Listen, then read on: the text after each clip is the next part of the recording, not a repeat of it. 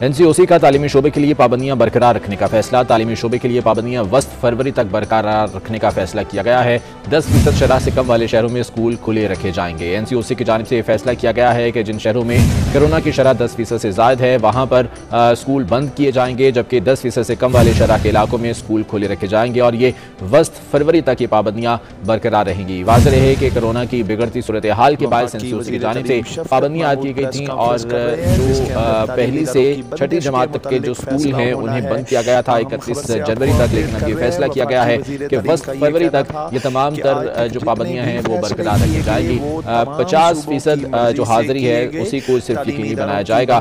छठी से दसवीं जमात तक के बच्चों के करीब किया जाएगा दस फ़ीसद शराह से कम वाले शहरों में स्कूल खुले रखे जाएँगे। एनसीओसी की जानब से फैसला किया गया है कि जिन शहरों में कोरोना की शराह दस फ़ीसद से जायजा ले रहे हैं ओमिक्रॉन के केस